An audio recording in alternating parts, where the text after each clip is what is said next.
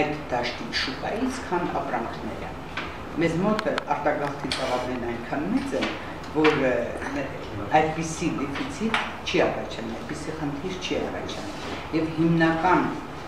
մեր տնտեսության հետամնացության, տնտեսական աճի, սերբերի ժանդավեցման հիմնական պատճառը ինձ արտագաղթն է, չնայած մեր իշխանությունները արտագաղթի խնդրին նայում են շատ այսպես պարզունակ տեսքով, կարծես թե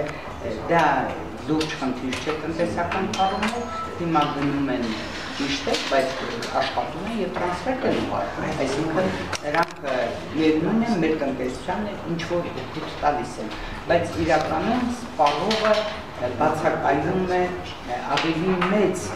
վնաս մեր տնտեսությանը, որտեղ նա ոչ միայն աշխատում է եւ ստեղծում նա սպառող է, ընտանիք է, նա սպառող է, նա աշխատող ձեռք է, նա արարող է եւ այդ ամենն է բացակայում մեզանից։ Եվ եթե դուք հետաքրքրվեք բիզնեսից, տեսամար պարզ կլինի, որ բիզնեսի ծավալները ապրանքաշրջանառություն, իրացանաշրջանառությունը ավելի ստույգ բավականին պակասել է եւ հիմնական պատճառն այն է, որ սպառողները արդեն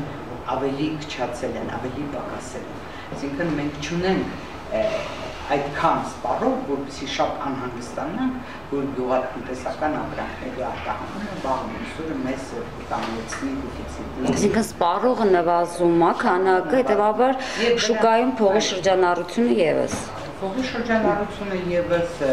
գնորդն է պակասում, հա